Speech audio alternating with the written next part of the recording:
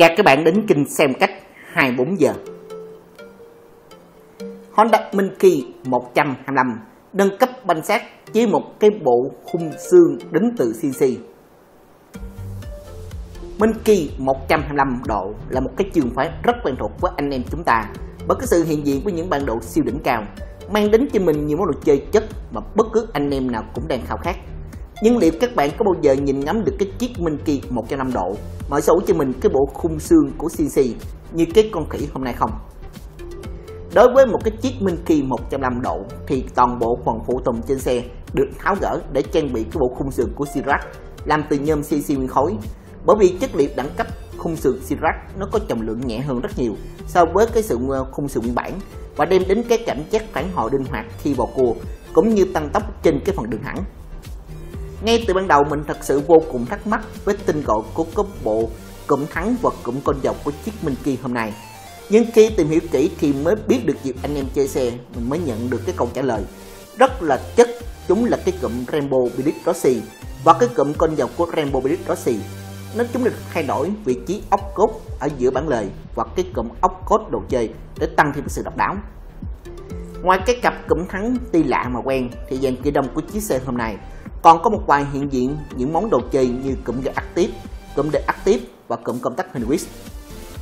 Với một cây trợ lực sườn như Holland thì phần kia đông của chiếc Minh Kỳ hôm nay chắc chắn sẽ ổn định hơn rất nhiều khi chúng ta phi tốc độ cao. Không còn hiện tượng bị trao đảo nguy hiểm khi lao qua những ổ gà nữa.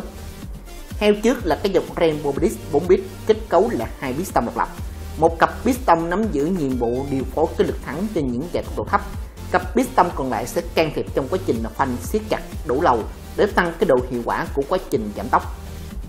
Đem đến hiệu sức ổn định và dứt khoát, thì phần đĩa của TK Racing cũng là một trong những yếu tố không thể thiếu,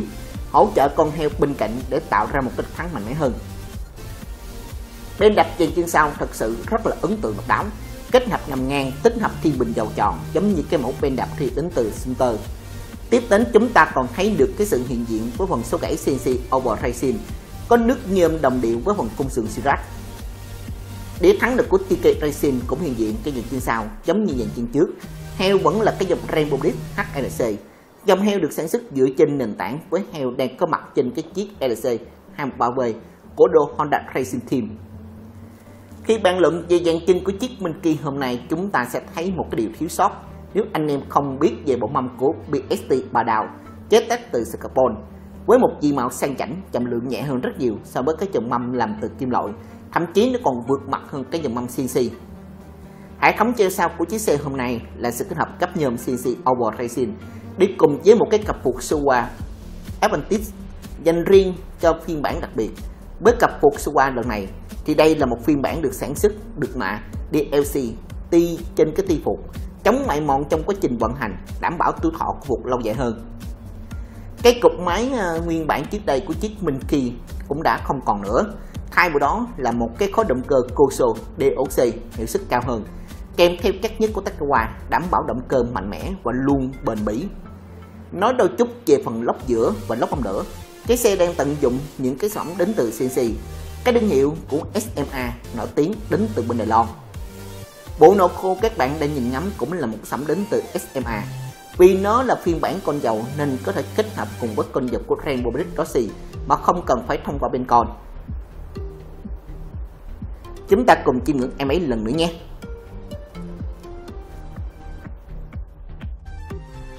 Sacha 110 đột ngất ngày với cái dây ghi đông bạc chịu Dẫn đầu thì cái sức mạnh ở phân khúc là hai bờ underball 150 hiện nay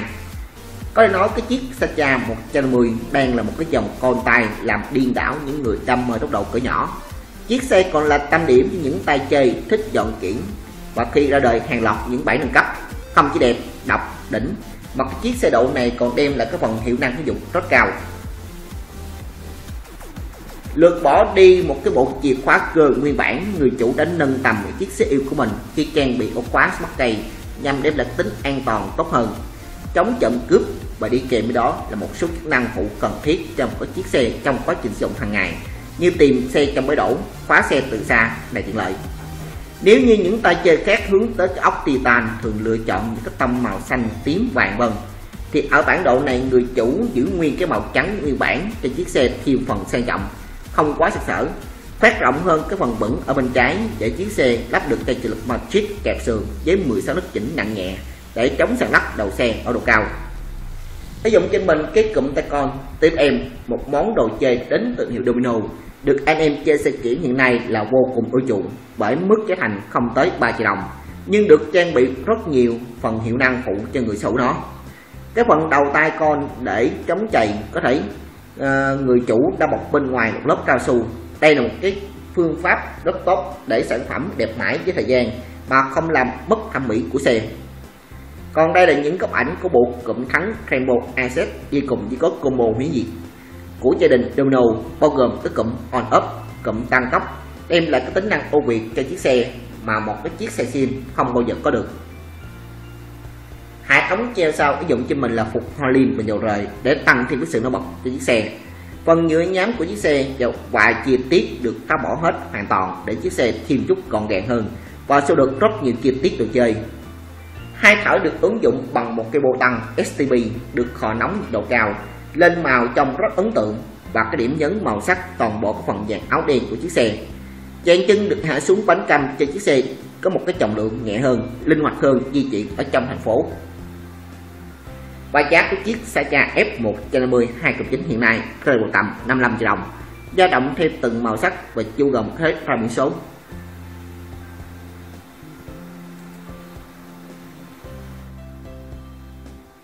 Cảm ơn các bạn theo dõi clip này để tiếp tiếp nhớ like, subscribe.